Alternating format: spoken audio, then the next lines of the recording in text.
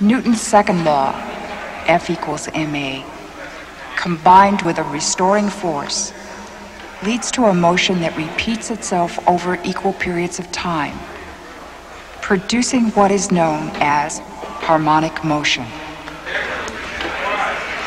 I have a story to tell you. I'm not sure that it's true, but it's a good story, so I'm going to tell it to you anyway. It's about our old friend Galileo. One day, when Galileo was a young man in Pisa, he attended Mass at the Duomo. That's the magnificent cathedral in Pisa, whose bell tower is the famous Leaning Tower of Pisa. In the Duomo, there's a lamp that hangs down from the ceiling by a long cable. And on this particular day, the lamp was swinging back and forth. Probably had just been lighted. And Galileo, being Galileo, noticed something about the swinging lamp that no one had ever noticed before. He noticed that each complete swing of the lamp took exactly the same amount of time. When the lamp first started swinging, and it had a large arc, it moved quickly through the arc.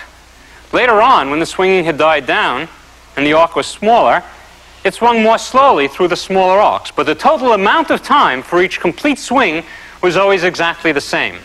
How did he determine that? Well, he timed the swings by counting his own pulse. I've often wondered about that, having realized that he was making a great discovery why his pulse didn't start racing and ruin his own measurement. but in any case, he timed his own pulse. Now, I figure each complete swing of that lamp must have taken about five or six seconds, and he had to watch it go through many, many complete swings as the motion got smaller and smaller, counting this pulse each time to make sure that each swing took the same amount of time. It must have been a very dull sermon. The lamp is still there in the Duomo in Pisa. It's called Galileo's lamp, and for a few hundred lira, you can buy a picture of it from the enterprising street vendors outside on the piazza. And so you see, it really is a good story. The only thing wrong with it is that according to the church records, the lamp wasn't installed until 10 years after Galileo died. but Galileo really did make that discovery, and it was extremely important because what he had discovered was that a pendulum could be used as a timing element. And in fact, his discovery led immediately and directly to the invention of the first accurate clocks. The kind of motion he was studying is called simple harmonic motion. Bobbing up and down on an ordinary spring, this simple weight repeats itself once every second. As time passes, its motion dies down, its excursions become smaller. But it still takes exactly one second to make each cycle. It is a perfect timekeeping device. And its motion is called simple harmonic motion.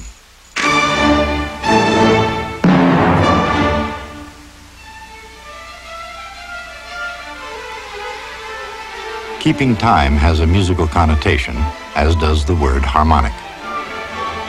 That's no accident of language.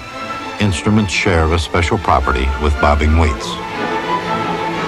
Both generate vibration at a certain frequency, which produces a certain pitch that doesn't change as the motion decreases.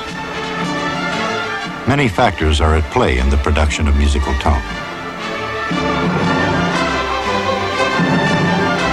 Length of an instrument string, the size, and the shape of an instrument, the technique with which an instrument's played, and certainly the musician's ability to play it. However, in the physics of music, one factor never varies. Once the tone has been produced, the pitch remains the same, even though the vibrations diminish. Why does the pitch remain constant?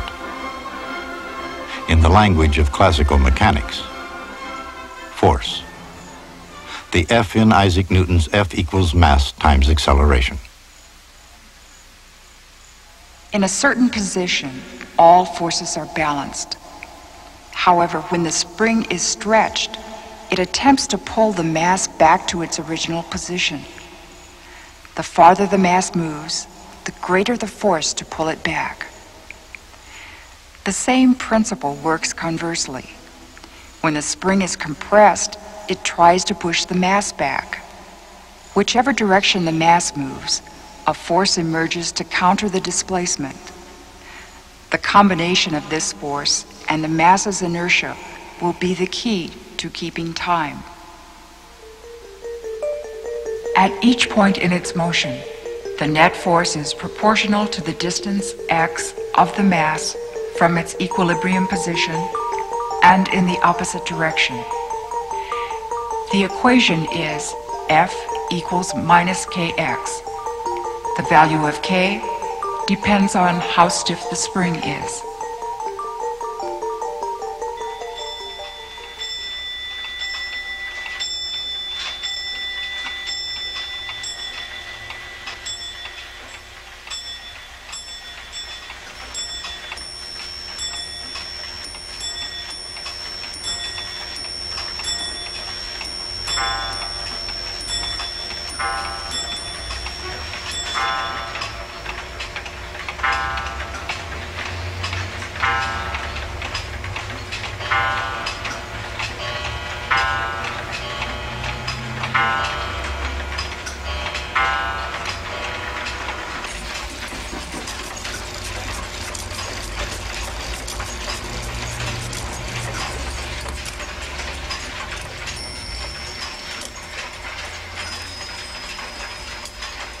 In Western culture, few things govern human life as steadily as the mechanistic concern with time.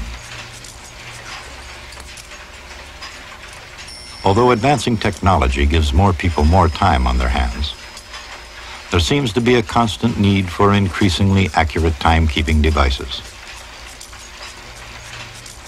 Preoccupation with time isn't a phenomenon of the fast-paced 20th century. It developed gradually, hour by hour, day in and day out for thousands of years. Accurate time, however, came relatively late in history. It arrived with the physical principle of harmonic motion. And along the way, over time, harmonic motion became the only means of timekeeping accuracy.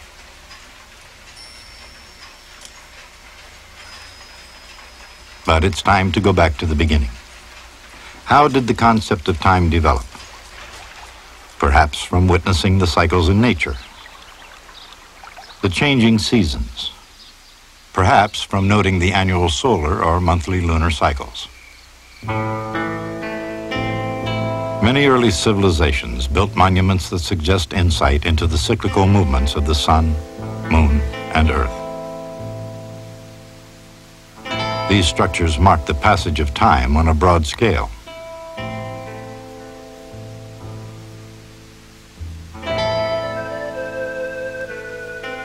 Early calendars represented efforts to segment annual cycles into smaller increments.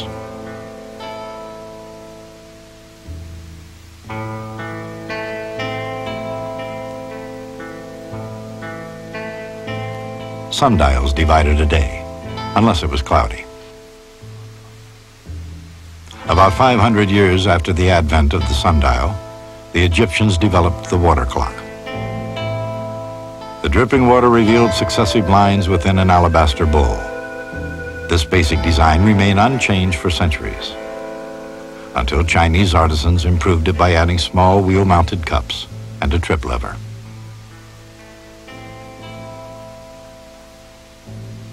After Marco Polo spread the word from the Orient, semi-mechanical clocks enjoyed considerable popularity in 13th century Europe.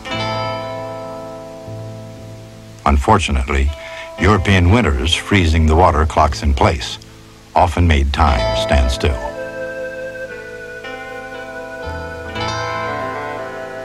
When introduced in the 14th century, the sands of time didn't freeze.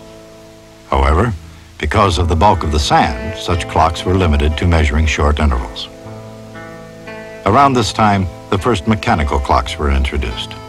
They had moving parts, including pulleys, weights with escapements, gears, and trip levers. Often they were ornate, delicately crafted timepieces, and always their accuracy varied according to the skill of the craftsman and the quality of the materials they had at hand. Early mechanical clocks were further improvements, but time still wasn't something people could exactly count on. The length of an hour depended on whose clock kept time. Day follows night. Season follows season. And year follows year.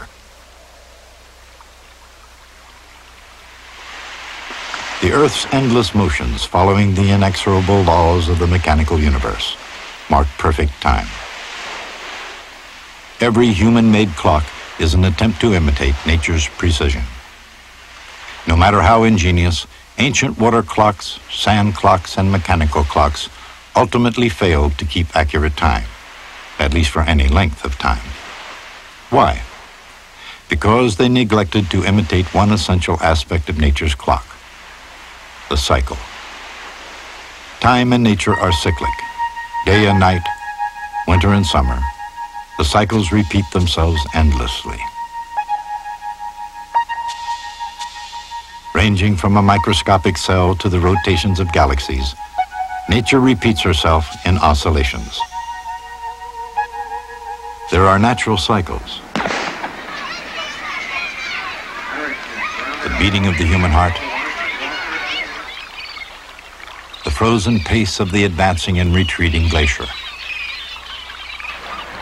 And there are perhaps less natural cycles, such as the boom and bust of the economy, and other things that tend to rise and fall. However, these cycles don't operate under the same laws that govern nature's great clock. They don't oscillate with natural precision. They lack precise intervals, repeating forever according to an inexorable law of nature. Human imitations of the great clock of the heavens are based on a different but equally inexorable law. The most inexorable law in mechanics is F equals m times a, the second derivative of x. In simple harmonic motion, force comes from the displacement x itself. F equals minus kx. Together, these two equations give the differential equation that describes simple harmonic motion.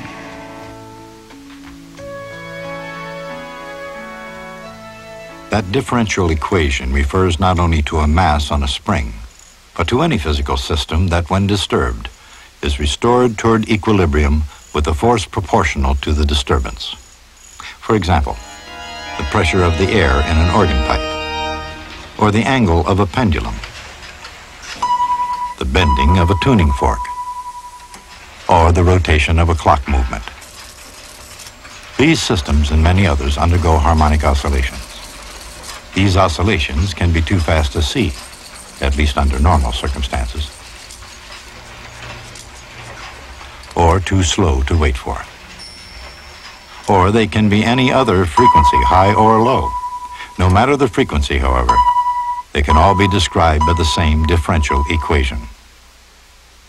The differential equation is solved by the time-honored technique of guessing.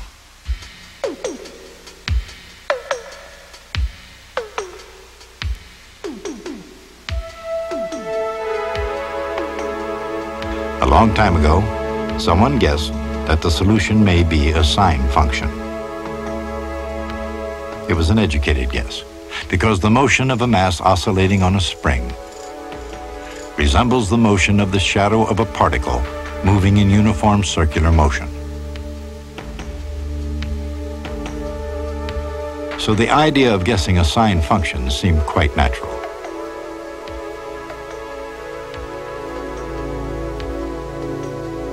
In this case, a sine function with amplitude A and angular frequency omega.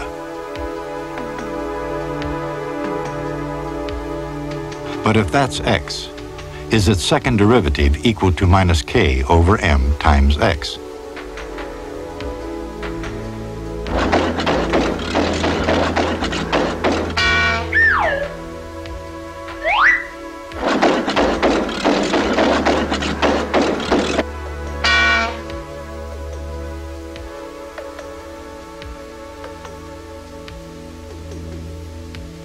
answer is yes, if omega is chosen correctly.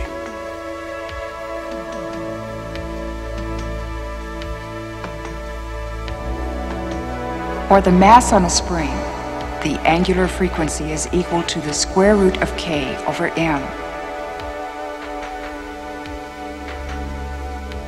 The stiffer the spring, the higher the frequency. The greater the mass, the lower the frequency.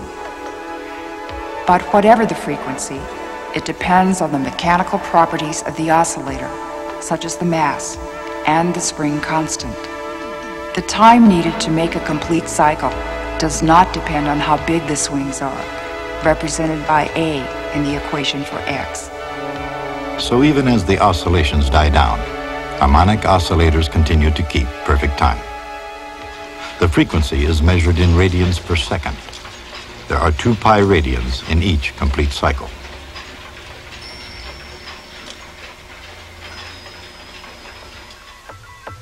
Likewise, in the great clock in the sky, each cycle is divided into radians, as if the universe were an enormous circle. To an extent, it is. The natures of uniform circular motion and simple harmonic motion are closely related. Each clock in its attempt to duplicate the cycles of nature is a mere shadow of the cosmic clock.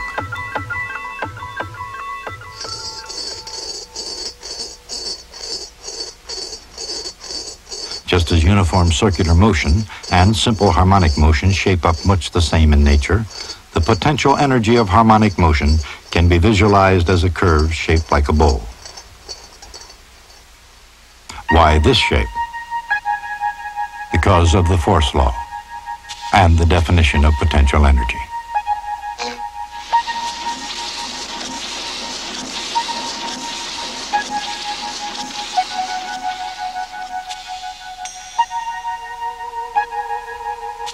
The ball starts out with some potential energy. As it rolls toward the bottom, the potential energy changes to kinetic energy. As it rolls up the other side, the kinetic energy changes back into potential energy.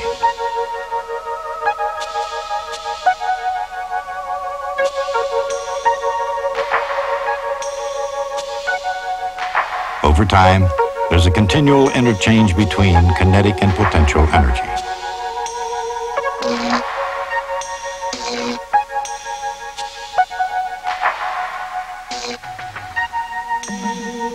But even though both the potential energy and kinetic energy are always changing, the total energy is always constant.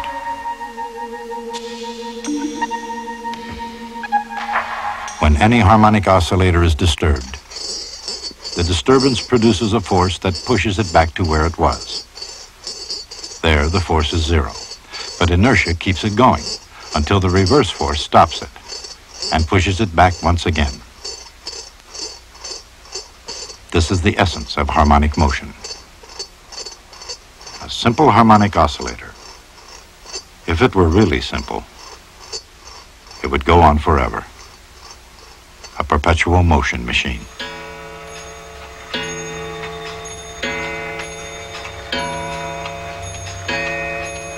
But real oscillators are not simple. They always have other forces, friction, air resistance, and so on, that tend to make them slow down.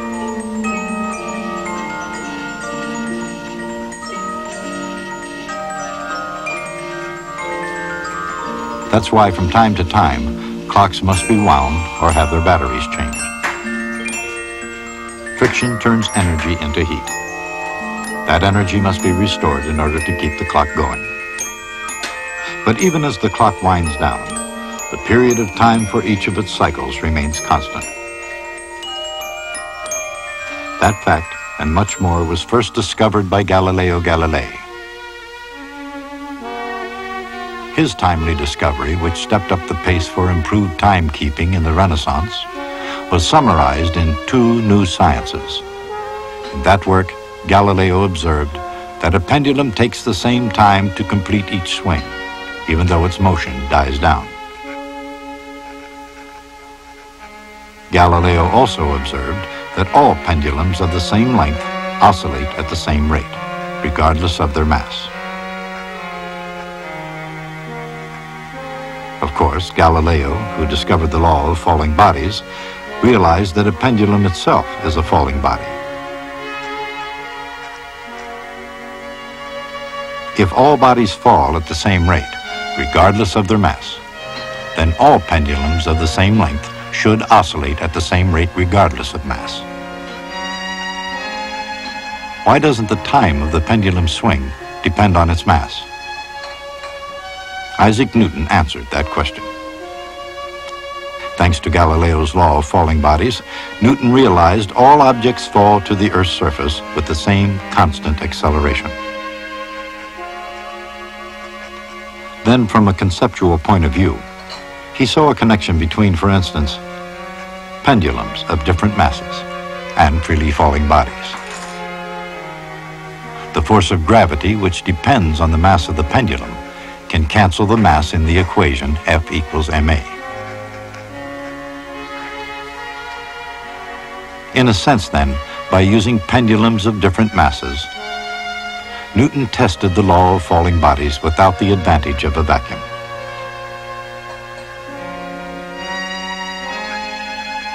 Thanks to Newton, not only physics, but the nature of time itself was never perceived as quite the same.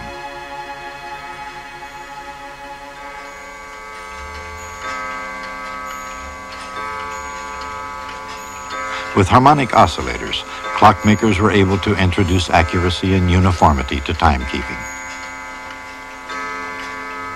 An hour in Cambridge became precisely as long as an hour in Venice. Don't worry, you'll be in the water soon, love. Accuracy proved a boon to navigation.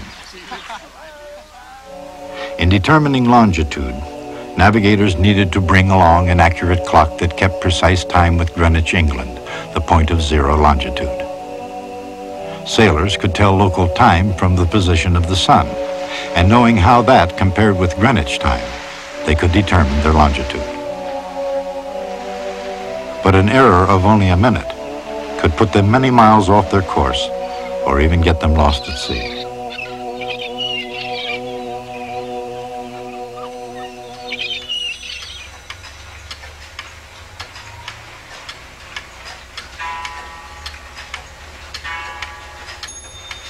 Same harmonic motion that regulates the accuracy of a grandfather's clock is the principle behind the accuracy of modern quartz watches, where millions of oscillations per second keep incredibly precise time.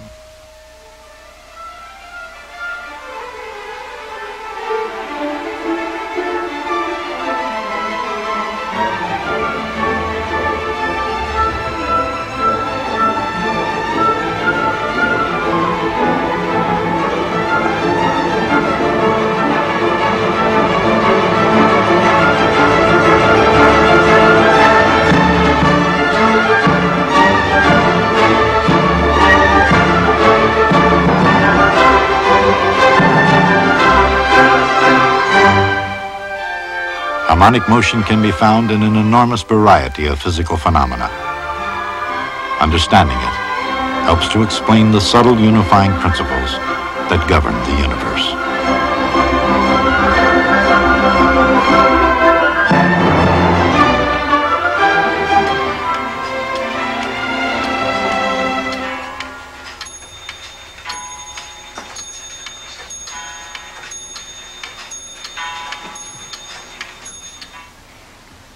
Remember our discussion of stability?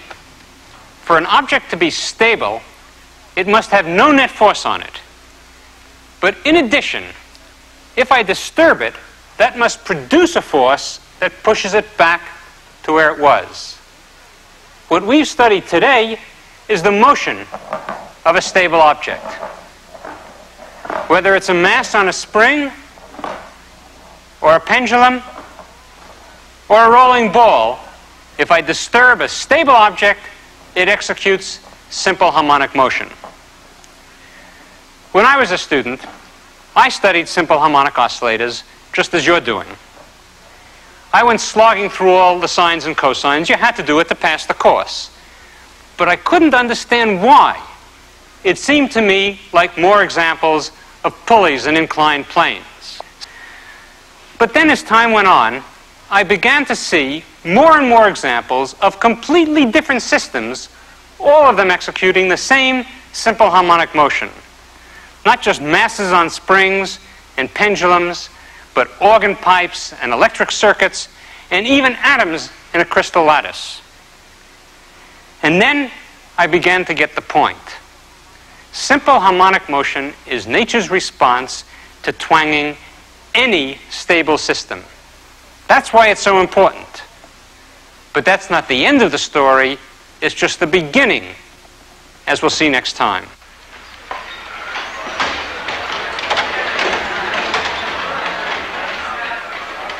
A linear restoring force, F equals minus kx, leads to simple harmonic motion when inserted into Newton's second law. The solution to the differential equation is the distance from the equilibrium position, expressed by x equals a sine omega t, where a is the amplitude of the motion.